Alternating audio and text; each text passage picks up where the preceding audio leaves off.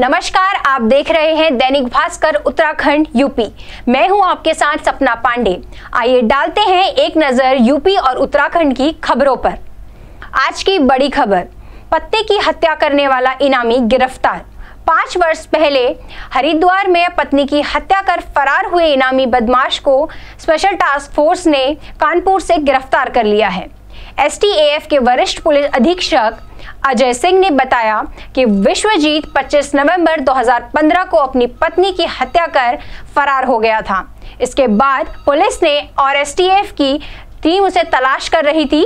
अपराधी को जल्द से जल्द पकड़ने के लिए हरिद्वार पुलिस ने उस पर पाँच हज़ार रुपए का इनाम भी घोषित किया था। दून रेलवे स्टेशन पर खड़ी गाड़ी को में अचानक लगी आग। फायर ब्रिगेड ने किया आग पर काबू। देहरादून रेलवे स्टेशन पर खड़ी गाड़ी में शुक्रवार सुबह आग लगने से हड़कंप मच गया। फायर ब्रिगेड ने मौके पर पहुंचकर आग पर काबू पाया। आग का गोला बनी गाड़ी के नज़दीक अन्य कारें भी खड़ी थी। गनीमत रही कि समय रहते आग पर काबू पा लिया गया, वरना बड़ा हादसा हो सकता था। हैरानी की बात तो यह है कि स्टेशन के अधिकारी, आरपीएफ और जीआरपी के जवानों के मौके पर मौजूद होने पर भी आग बुझाने वाले यंत्र का इस्तेमाल कर आग पर काबू पाने की कोई प्रयास नहीं किया। दून के वाहन चोर की भारी पड़ा तेज रफ्तार का जुनून चढ़ा पुलिस के हत्ते देहरादून के वाहन चोरी कर तेज रफ्तार से भागना एक युवक को तब भारी पड़ गया जब अचानक वाहन अनियंत्रित होकर एक दीवार से टकरा गया।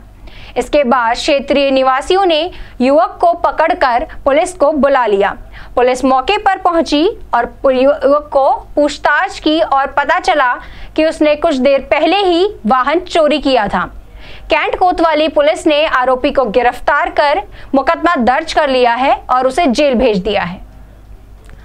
उत्तरकाशी में महसूस हुए भूकंप के झटके, रिक्टर पैमाने पर तीन दशमलव तीन नापी गई तीव्रता। उत्तराखंड में, उत्तरकाशी ज़िले में भूकंप के झटके महसूस किए गए। ये झटके करीब ग्यारह बजकर सत्ताईस मिनट पर महसूस हुए। झटके महसूस होने के बाद लोगों में दहशत बनी हुई है। वैसे भी उत्तराखंड भूकंप के लिहाज से संवेदनशील माना जाता है। यहाँ अक्सर भूकंप के झटके महसूस होते हैं। गनीमत तो यह रही कि इससे कहीं और किसी को भी नुकसान नहीं पहुँचा।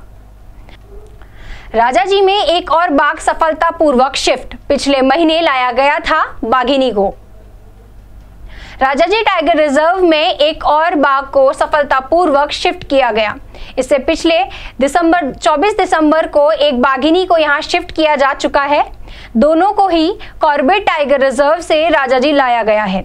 कॉर्बेट में वनकर्मियों की टीम सुबह करीब आठ बजे से विशेष वाहन में बाघ को लेकर मोतीचूर पहुँची, जहाँ उसे बाड़े में रखा गया। वनकर्मियों के साथ चिकित्सकों की टीम भी बाघ पर नज़र रखे हुए है। कुछ समय बाड़े में रहने के बाद बाघ को जंगल में छोड़ दिया जाएगा। वन प्रशासन के मुताबिक बाघ शिफ्टिंग को लेकर रात से ही मोतीचूर और कौंसरो रेंज के वन कर्मियों को अलर्ट पर रख दिया गया था। आज के बुलेटिन में बस इतना ही। याद रहे कोरोना संक्रमण अभी खत्म नहीं हुआ है। इससे बचे रहने के लिए अपने हाथों को नियमित रूप से धोएँ, सामाजिक दूरी का ध्यान रखें और मास्क पहनना ना भूलें। और उत्तराखंड की सभी खबरों से जुड़े रहने के लिए देखते रहिए दैनिक भास्कर उत्तराखंड यूपी। धन्यवाद।